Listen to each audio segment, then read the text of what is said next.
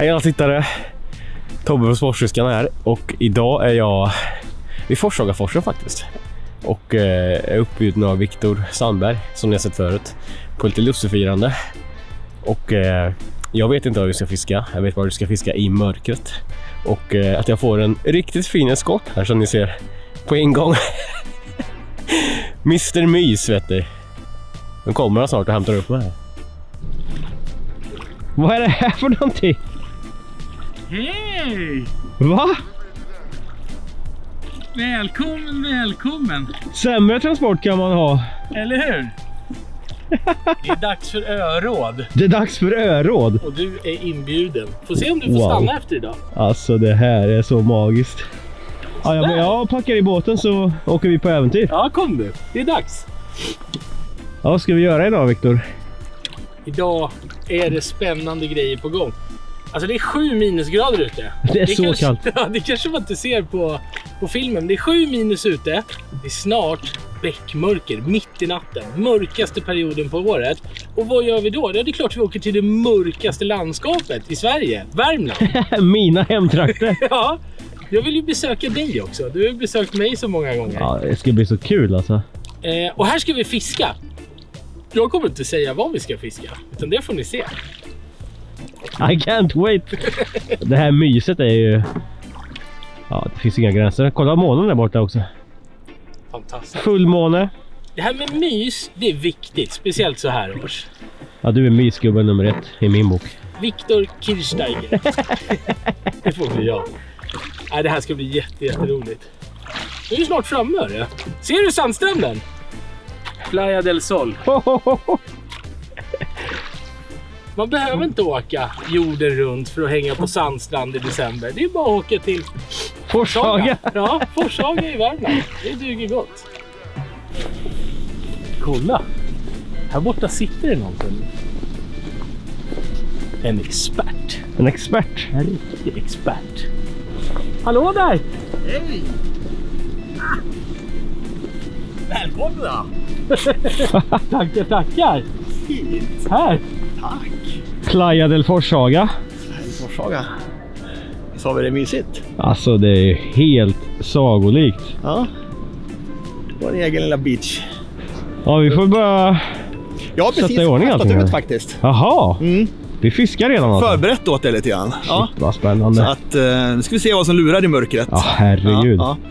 Och det börjar ju faktiskt precis skymma nu och dags att dra på sig toppluvan och så ta på sig pannlampan så vi Ja, ser vad vi gör i mörkret. exakt. Ja, Men det ser ut som det är fullmåne på gång också nästan va? den var det. Den var det. Ja, spännande. Mm. Häng med!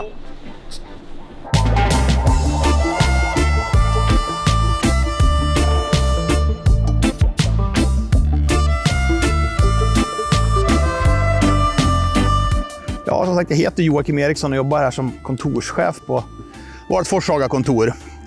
Och här jobbar vi ganska mycket med frågor kring Vänern och de stora älvarna som rinner ner i Vänern faktiskt.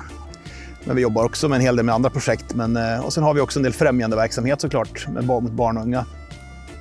Det är väl liksom grundstommen i kontorets verksamhet. Sen eh, idag är vi här och ska fiska en art som vi också har ett litet visst intresse i. Vi tycker att det är en liten sån här, en mystisk fiskart som vi tycker att man bör lära sig mer om. Hur den leker, var den uppehåller sig under stora delar av året och sånt där. Så att, men vi jobbar med en, en, en bred kompott av, av uppdrag egentligen. Eh, vi är fyra anställda på det här kontoret. Och sen driver vi också en, en liten fiskekamp. Så här kan man faktiskt komma och bo och fiska hos oss, Sportfiskarna. Eh, framförallt här är det ju lax och öring som många kommer för att fiska. Det piper i larmet, det är därför Ja, jag blir lite disträ. så att det inte är någonting samtidigt. Det var ju något lurt där förut. Ja. Ehm, nej, men så, så ser det ut. Tobbe, Ja. kom och sätt dig här nu. Yes.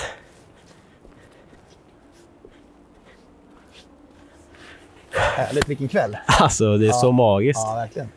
Du, nu har jag förberett lite grann här. Eh, jag har radat upp tre stycken spön här på strandkanten. Och jag tänkte att du skulle få välja ett av de här spöna. Eh, jag har riggat på tre olika sätt, eller det är samma sätt vi, vi fiskar egentligen. Men själva nappindikationen skiljer sig åt lite grann. Okej. Och längst till höger här har du något, något som vi kallar för en, en lysstav bara egentligen, som en, som en liten Vi kollar lite mer på det sen, men, men en liten stav som man får, man får hålla koll på spötoppen ganska mycket för att se om det kommer något napp. En indikation på liksom att ja, det Ja, rör sig uppe. att det rör sig. Liksom. Ja. Då är det någonting som är där och drar i vårt bete. Och i mitten här så har vi en eh, lysstav och en liten bjällra som också ger lite ljudindikation. Okej. Att den pinglar lite grann om, i alla fall om, om, om rörelserna börjar bli lite häftigare. En ålbjällra som man kallar det ibland också. Och längst, längst borta har vi, har vi då ett sånt där elektroniskt nappalarm. Eh, så att det börjar pipa om linan liksom löper ut genom, genom, eh, genom eh, ringarna. Att, Ah, svårt. Nej, men alltså, jag, jag tycker det är kul med, med bjällror. Alltså, Ja. Det låter liksom lite, lite old school också kanske. det gör det absolut. Så att jag, jag väljer det Du går på mitten. Ja. Ja. Får vi se hur kvällen utvecklar sig. Men vad är, vad, är det vi ska fiska efter? Ja men, ja, men dels får du se senare tänkte jag. Eh, Det är ju liksom liten, lite, vi ska se vad som gömmer sig här i djupet i mörkret. Ah, shit vad Ja. Ja. Får vi se då. Ja. Du håller igång brasan nu. Det kan vara viktigt såna här, såna här nätter som det faktiskt börjar bli. Det är inte riktigt natten, klockan är väl fem eller någonting, men det är riktigt, riktigt kallt. 7-8 minusgrader förväntas i natt. Ja. Så det gäller att vara varmt klädd och vara varm om händerna. Men är det inte häftigt Tobbe med mitt i vintern, mitt i den absolut mörkaste perioden på året, så är det prime time för det här fisket. ja. Det är så himla roligt med fiske att var du än är, när du än är där, så finns det alltid något fiske man kan hålla på med. Det gör mig glad. Ja, det är häftigt. Det spelar ingen roll vilken årstid det är som sagt var. Det här behövdes. Men du, du som är så himla bra på, på mat och sådana där saker.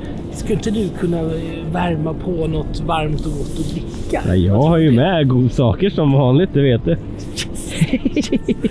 Jag ska göra på lite glögg åt oss. Då piper jag ner till Jocke så länge. Ja, gör det. Kommer jag med lite glögg sen. Härligt.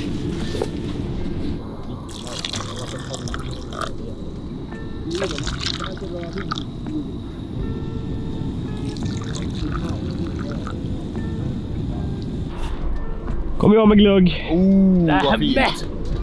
Uh, så gött. Och Den snart är det Lucia också. kokande varm. Vi se så vi inte häller något på fingrarna. Hej tomtegubbar slår i glasen. Tack, tack, tack. Så det räcker till alla. Och låt oss lustiga Viktor, vara. du gillar Ja. med glögg? Ja, jättemycket tack. Och där är fint, där är fint, där är fint. Jag gillar att ha något att tugga på också. Tyckte jag såg en påse med lussebullar här också. Ja, det kan ni tro. Nämen! Jag öppnar den så här Inget liten- Lucia-mynt Som ett utan... litet julklappspaket. Titta! Oj, oj, oj. Här ligger de. Ja, varsågoda. Tre små... En sak kan man ju säga, varje gång som Walter är med, då blir det ju liksom superbra på matfronten. Verkligen, verkligen. Ja, jag har ju någonting mer lite värmande som vi ska äta sen också. Är det sant? Vi ska göra tom yum, en liten thailändsk. En av mina God soppa. absoluta favoriträtter. Ja, det är- Och så värmande. Perfekt för den här årstiden och, och, och vädret. Jajamän. Grymt! Det ser vi fram emot. Vill du säga något? Jag måste säga en grej. Jag måste först kolla en grej, Viktor. Ja, säger du. Har du galangalrot med i, i tomjammen? Du, jag har galangalrot. Jag har allting. Det kommer bli en helt autentisk tom yum. Heja, heja! Det är så lätt att det blir de här svennebanan-grejerna liksom, med, med, med, med, med massa kokosmjölk och grejer. och Nej, nej, nej, nej, nej. Det här blir the real deal.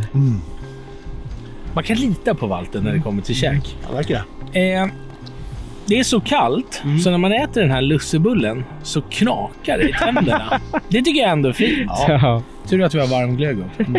Vad har vi nu? Fem minus kanske? Mm.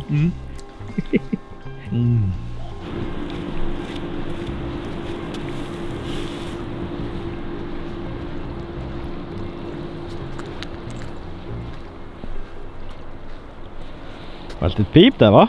Mm, det var något som trippelpip här till och med. Trippelpip. enkelpip brukar sällan vara sällan vara någonting. Men, men eh, dubbel, dubbel och trippelpip skulle kunna vara någonting som är här och, och smaka på den lite grann. Spännande. Drake från djupet. Så försöker jag hålla lite koll på spötoppen här och se om det är liksom någon form av rörelse. Det är lite svårare när man har spötoppen riktad rakt mot liksom. Kontra de andra spöna som står lite mer upp i luften. Ja, lite svårare att se då. Titta.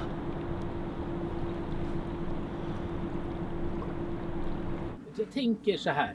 Här ligger något jätte, jättegott. Mm. Liksom tacobuffé eller någonting. Så kommer Ja, ta något litet. Ja, Smaka lite. mm, smaka lite. Nej, nej, nej. Eller? Ja, smaka lite. smaka lite grann. Till slut så bara, Va? det är ju dunder. Det är kakmonstret liksom. Ja, men ta det. Det är ju dunder. Simmar iväg. Åh, du ser.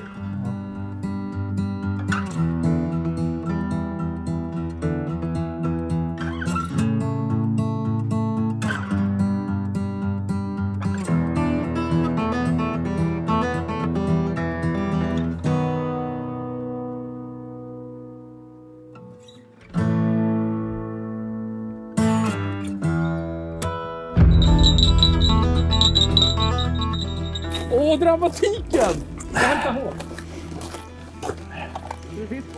Ja, vi hoppas det i alla fall. We're in! Är det så? Jajamän. Är gött. Oj, oj, oj! Shit vad spännande. Ja, det känns skapligt faktiskt. Är det så? Jag tror inte det är någon, eh, någon bjässe, men det är, det är i alla fall ingen sån där riktigt litet grodyng. Han går lite uppåt där. Ser du han? Mitt i matlagningen. Ja. Har vi lake? Bra! Där satt den! Oj, oj, oj. Ja, men det var skaplig. Det är absolut. en två och en halv i alla fall säkert. Wow. Nu måste filma den i vattnet så här. Här är det så cool i sin miljö alltså. Kolla ryggbredden. Vit på buken. Oj, jag håller på med det. Och så ser man här. Kamouflagefärgade mönstret på sidan. Fisk. Och nu Tobbe, nu vet du vad som döljer sig I mörkret. midvinternattens mörker. Och i Åh, Klarälvens djup. kolla vad den är snygg! Ja, med de här stora fenorna som den fäller ut också. Jag är så glad. Kolla här. Kolla på den fisken. Vilket grodyngel! Laken kan man ta med ett vanligt gällgrepp så här precis som... Sen vill de gärna skruva ihop sig lite grann. Alltså vilka coola fiskar. Ryggbred. Kolla. Man förstår att de är kamouflerade mot, mot, mot botten Ja, liksom. herregud ja. Ofta har de väldigt speciella eh, fläckar och mönster och sånt där så man kan känna igen dem. Laken drabbas ganska ofta en parasit på ögonen också så den blir blind. Det klarar sig bra ändå. Den är ju faktiskt vår enda torskfisk som lever i sötvatten. Torsken, det är samma skäggtum här som ni ser. Som torsken har. Så det är den enda liksom, eh, sötvattenstorsk vi har. Nu tänkte vi att vi skulle snabbväga den här fisken lite grann. Mm. Jag ser om man kan lägga ner den här lite grann på mattan nu. Viktor? Ja. Bröt du på sig lite av mig? Nej, den fan över tre. Åh, vilken fisk! Grattis! 3,18.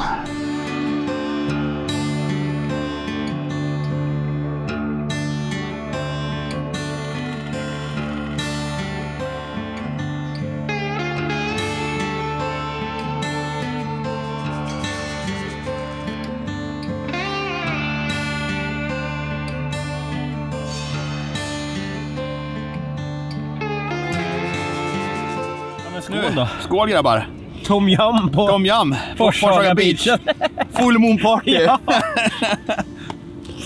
På riktigt Tobbe. Det här är det bästa fiskematen jag någonsin har ätit. I hela Som mitt säger det till alla. Nej, det här är så gott. Det är så gott så att det är larvigt. Ja, bra hetta. Ja, riktigt bra. Ja, där lagar du på ett jävla öppen eld.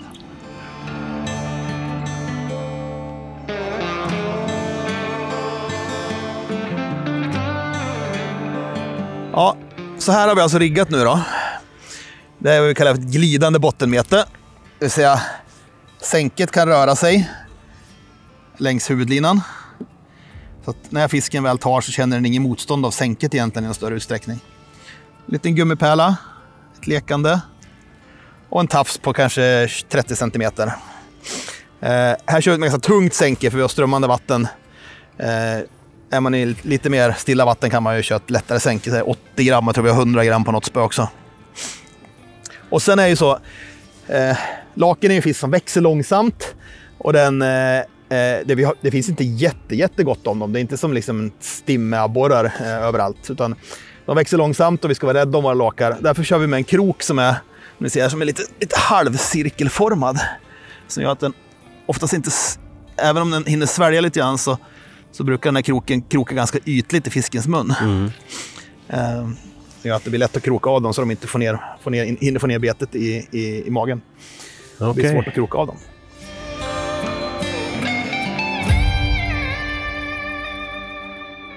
Lite choklad och marshmallows till avslutning. Oh, vilken Vilken kväll! dunderkväll. Helt sagolikt. Det här fisket, vare sig det nappar eller inte, bara umgänget, Mm. maten. Det är så trevligt. Det är så trevligt. Ja, jag har aldrig fiskat i, i mörker så här förut. Så det är, det är en, alltså spänningsfaktorn stiger ju dramatiskt. faktiskt. Nej, fantastiskt. Det finns ju några sådana här fiskeformer som är lite mer sociala om man säger så. Då, där man, Jag skulle kanske säga, kanske säga spinnfiske som mindre social. Man, man står i sin egen lilla bubbla liksom och, och banka, banka, banka, banka. Sen kan man ju strandhugg och sådär men ismete är ju en sån här grej som är väldigt social, tycker jag. Social också, Ja. Det här. Det, är inte, det här är lite likt ismete. Men det är just natten, inramningen, den blir ju riktigt härlig alltså. Ja. Ja. Och jag är nöjd. ja, jag är också det. Ja, jag kommer sova gott i natt. Ja, tack så hemskt mycket för att jag fick vara med på det här. Ytterligare en sån liten Bucket bucket list. list-grej Ja. som jag kan kryssa nu som jag fått uppleva.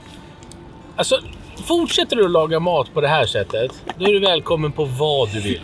Vad du vill! Ja, men den är tagen alltså. Jag ska komma ihåg det. Vad ska vi äta på laxfisket? Oh, det blir Just det. spännande. Vi kommer ju åka ut med Jocke här på lite jullaxfiske faktiskt framöver. Så att missa inte det. Och jag hoppas att ni har haft kul. Och ut och testa det här fisket. För att det är helt magiskt. Vi säger hej då. Tjena! Glad Sköt om Lucia! Ja. Åh, hej! Hej tomtegubbar slår i glasen och låt oss lustiga vara. Garangarot! Jag kommer, jag kommer garanterat ta med det där.